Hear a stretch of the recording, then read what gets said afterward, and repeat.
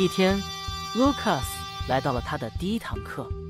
这是一间充满历史气息的教室，墙上挂满了古老的书画，桌椅陈设朴实无华。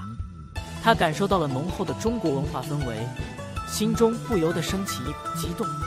坐在一旁的小明是他的同学，他友善地向 Lucas 打招呼：“你好，我是小明，很高兴认识你。”“你好，我是 Lucas，也很高兴认识你。” Lucas 微笑着回答道。老师走进教室，慈祥地面带微笑。他开始介绍这门课程的内容，让学生们对中国古代文化有更深入的了解。Lucas 专心致志地听着，努力记笔记。今天我们要讨论中国古代诗词。老师说道：“请大家打开课本，我们一起来读一首唐诗。” Lucas 翻开课本，看到了一首陌生的汉字，他心想：“这是什么？”怎么读？老师，我不太懂这些字。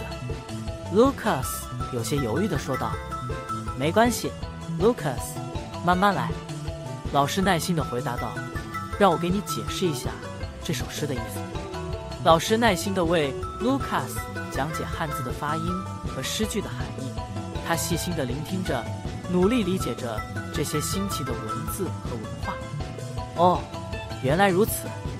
Lucas 恍然大悟，这些诗句有着深刻的意境和美丽的意思。是的，诗词是中国古代文化的精髓之一。老师鼓励的笑了笑，慢慢来，你会越来越熟悉的。Lucas 感到了一丝成就感，也更加渴望了解更多关于中国文化的知识。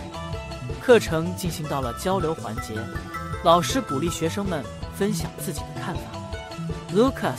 虽然有些害羞，但还是鼓起勇气，分享了自己对这首诗的理解。Lucas，你的见解很独特，很有深度。老师赞许地点了点头。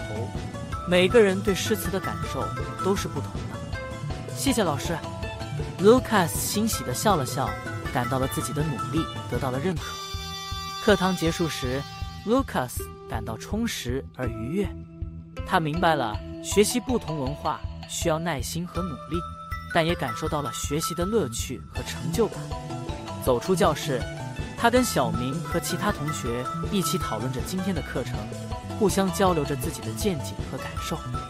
他们在校园中漫步，谈笑风生，分享着属于他们的学习和成长的旅程。对 Lucas 来说，那是一次美妙的经历，不仅是他第一次真正接触中国古代文化，更是他融入新环境、结识新朋友的开始。这堂课不仅教会了他知识，更是培养了他对多元文化的尊重和好奇心。